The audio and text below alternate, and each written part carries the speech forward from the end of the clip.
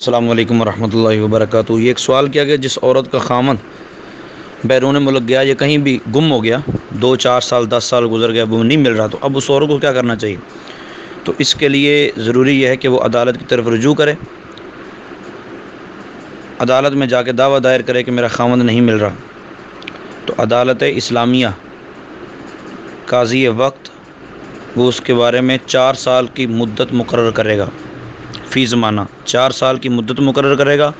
اس چار سال کے اندر عدالت بھی اس کو ڈھونڈنے کی پوری کوشش کرے گی۔ باقی سارے سورسز بھی استعمال کیے جائیں گے، اخبار میں اشتہارات وغیرہ الیکٹرانک میڈیا پہ پرنٹ میڈیا پہ، ہر طرح سے اشتہارات وغیرہ دیے جائیں گے۔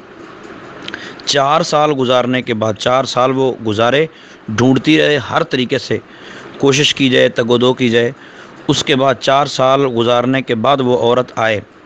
اور قاضی صاحب کے پاس آ کے وہ سارے ثبوت پیش کرے کہ اسی طرح میں نے ڈھونڈنے کی کوشش کی ہے، میرا خامد مجھے نہیں مل رہا۔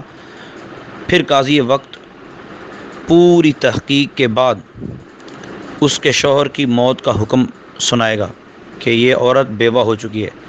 اب وہ عورت جب قاضی دوبارہ فیصلہ سنائے گا شوہر کی موت کا، تو اس کے بعد عدت وفات گزارے گی۔ چار ماہ اور دس دن۔